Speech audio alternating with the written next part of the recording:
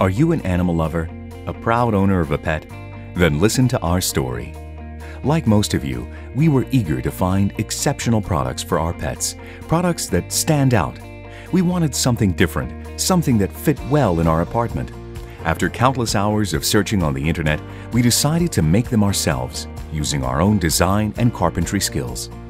After more than six months of developing and designing, we proudly present to you our first collection of pet products specially suited for cats and smaller dogs.